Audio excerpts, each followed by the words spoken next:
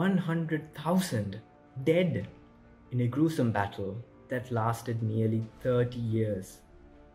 Not only did the civil war cause countless deaths, its after effects still haunt us like scars from a deep cut wound. Insecurity, fear of no tomorrow are things no one should go through 400 to 3000 were killed and 150 were left homeless. Not only was the July of 1983 wreak of darkness, but it is also forever a black mark of Sri Lankan history.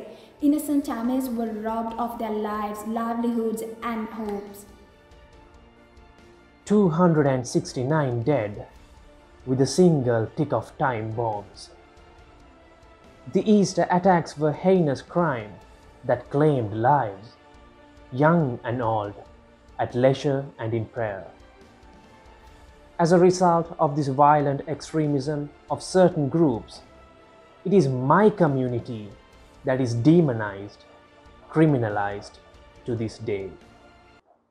Being human depends on the essence of what makes us human is our humanity. In an era afflicted with violence, there is no way to peace. Peace is the way.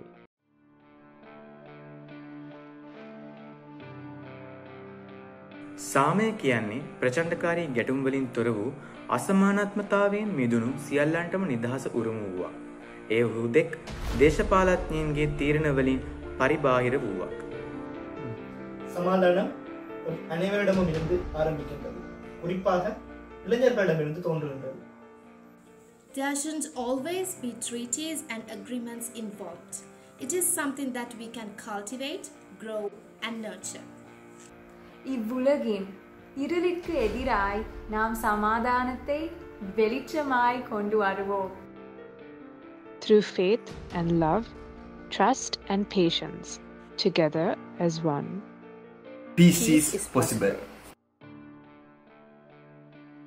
Rotary Club of University of Moratuwa presents World Peace Day, a platform to take peace into our own hands because the youth are the game changers of tomorrow.